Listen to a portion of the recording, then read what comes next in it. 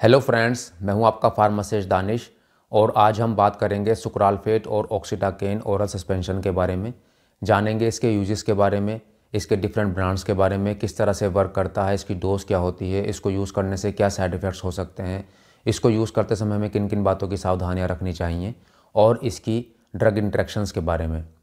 Friends, अगर आपने अभी तक मेरा चैनल सब्सक्राइब नहीं किया है तो प्लीज़ मेरे चैनल क्रिएटिव हेल्थ केयर को सब्सक्राइब करें और नोटिफिकेशन बेल को भी प्रेस करें, जिससे कि मेरा जो भी नया वीडियो आए, उसका नोटिफिकेशन आप तक पहुँच जाए।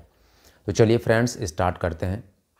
फ्रेंड्स, सुक्रालफेट और ऑक्सीटाकेन सस्पेंशन, ये एक एंटासिड और लोकल एनेस्थेटिक सस्पेंशन होता है।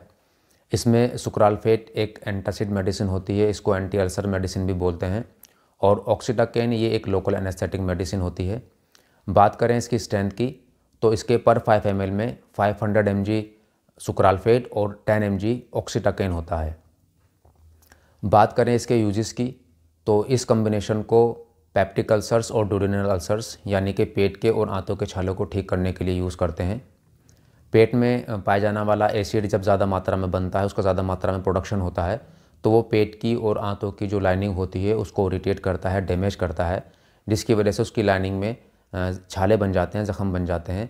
इन्हीं को पेप्टिक अल्सर्स और डूडन अल्सर्स बोलते हैं। ज़्यादा मात्रा में पेन किलर्स को यूज़ करने से या एच पायलोरी इन्फेक्शन की वजह से भी पेट में और आंतों में छाले बन जाते हैं। जब पेट में और आंतों में छाले बनते हैं तो काफ़ी पेट में दर्द रहता है काफ़ी उल्टी और मतली आती है, काफ़ी गैस बनती है। तो पेप्टिक अल्सर्स और डोरिनल अल्सर्स को ठीक करने के लिए सुक्रालफेट और ऑक्सीटाकेन के कम्बिनेशन को यूज़ किया जाता है। इसके अलावा इसको हार्ट बर्न में भी यूज़ करते हैं। इसमें ज़्यादा मात्रा में एसिड बनने की वजह से वो खाने की नली जिसको कि इसोफेगस बोलते हैं वहाँ तक आ जाता है और उसको इरीटेट करता है जिसकी वजह से सीने में जलन सीने में काफ़ी दर्द और गैस काफ़ी बनती है। इसके अलावा इसको हाइपर एसिडिटी में यूज़ करते हैं जब ज़्यादा मात्रा में एसिड बनता है तो ये उस एसिड को न्यूट्रलाइज करने का काम भी करता है और इसके अलावा इसको गैस्ट्राइटिस में भी यूज़ करते हैं। इसमें जो पेट की लाइनिंग होती है उसमें इन्फ्लामेशन हो जाता है इसमें पेट में सूजन आ जाती है और का, पेट काफ़ी टाइट रहता है। तो इन सब कंडीशंस को ठीक करने के लिए सुक्रालफेट और ऑक्सीटाकेन सस्पेंशन को यूज़ किया जाता है। अब बात करें इसके डिफरेंट ब्रांड्स की तो ये सुक्राफिल ओ के नाम से आता है, जो कि फोर्स कंपनी का है। इसके अलावा ये सुक्राडे ओ के नाम से, जो कि मैनकाइन कंपनी का है सुक्रेस ओ के नाम से, जो कि जैडस कैडिला कंपनी का है, और सुक्राल ओ के नाम से आता है, जो कि स्टेशनबर्ग कंपनी का है। इसके अलावा इसको और काफ़ी ब्रांड्स मार्केट में अवेलेबल हैं। अब बात करें सुक्रालफेट और ऑक्सीटाकेन सस्पेंशन के मोड ऑफ़ एक्शन की, यानी किस तरह से वर्क करती है। तो इसमें जो सुक्रालफेट मेडिसिन होती है, इसको अल्सर प्रोडक्टिव मेडिसिन भी बोलते हैं। एक एंटासिड मेडिसिन होती है। ये, जो अल्सर्स होते हैं, उनको ऊपर एक प्रोडक्टिव लेयर बना देती है जिससे अल्सर जो हैं, वो एसिड से प्रोटेक्ट रहते हैं। इस तरह से ये अल्सर्स की हीलिंग को भी बढ़ाती है एसिड को ये न्यूट्रलाइज भी करती है, और गैस के बनने में भी काफ़ी आराम देती है। बात करें ऑक्सीटाकेन की तो ये एक लोकल एनेस्थेटिक मेडिसिन होती है। ये अल्सर्स की वजह से पेट में जो दर्द होता है, उसमें आराम देती है। अब बात करें सुक्रालफेट और ऑक्सीटाकेन के डोसेज की तो एडल्ट में इसको पाँच एम से लेकर दस एम दिन में दो बार या तीन बार देते हैं। या तो खाना खाने से एक घंटे पहले या खाना खाने के दो घंटे बाद इसको दिया जाता है। अब बात करें सुक्रालफेट और ऑक्सीटाकेन के कुछ साइड इफ़ेक्ट्स की तो इस सस्पेंशन को यूज़ करने से कुछ साइड इफ़ेक्ट्स भी हो सकते हैं। जैसे चक्कर घुमेर का होना, सिर में दर्द का होना, मुँह में खुश्की का आना, उल्टी मतली का आना या भूख कम लगना नींद में कमी का होना, या कोई भी एलर्जिक रिएक्शन होना। अगर इस तरह के कोई भी सिम्टम्स आपको अपेयर हो रहे हैं तो आप अपने डॉक्टर से या फार्मासिस्ट से ज़रूर कंसल्ट करें। अब बात करें सुक्रालफेट और ऑक्सीटाकेन सस्पेंशन को यूज़ करते समय में किन किन बातों की सावधानियाँ रखनी चाहिए। तो इस सस्पेंशन को यूज़ करने के बाद अगर चक्कर घूमे रह रहे हैं तो कोई भी मोटर व्हीकल या कोई भी मशीन ऑपरेट ना करें। इसको अल्कोहल के साथ यूज़ नहीं किया जाता है क्योंकि अल्कोहल एसिडिटी को बढ़ा देती है। प्रेगनेंसी और लैक्टेशन में जनरली सेफ़ मेडिसिन होती है बट डॉक्टर से कंसल्ट करने के बाद ही यूज़ करें। लीवर और किडनी डिसीज़ में भी इसको डॉक्टर से कंसल्ट करने के बाद यूज़ करें।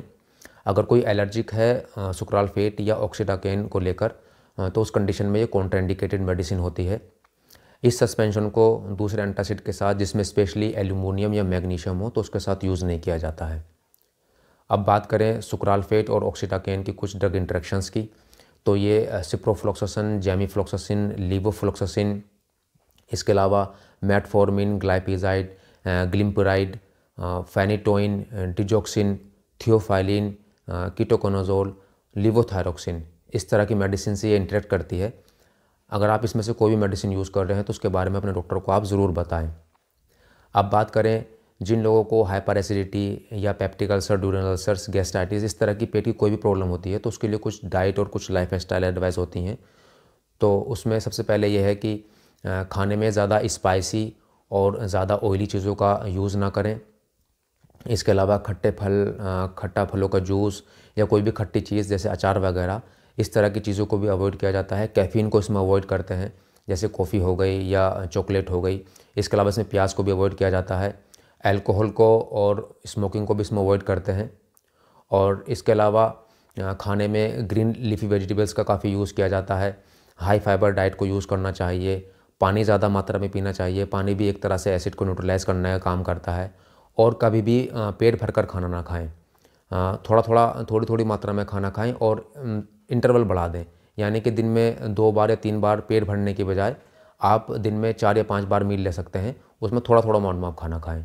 तो इस तरह की अगर डाइट और लाइफ स्टाइल को करा जाए तो पेट की इस तरह की प्रॉब्लम में काफ़ी रिलीफ मिलता है। तो फ्रेंड्स आज की वीडियो में इतना ही। अगर आपको मेरा वीडियो अच्छा लगा है तो मेरी वीडियो को लाइक करें शेयर करें, मेरे चैनल को सब्सक्राइब करें और नोटिफिकेशन बेल को भी प्रेस करें, जिससे कि मेरा जो भी नया वीडियो आए, उसका नोटिफिकेशन आप तक पहुँच जाए। Thank you friends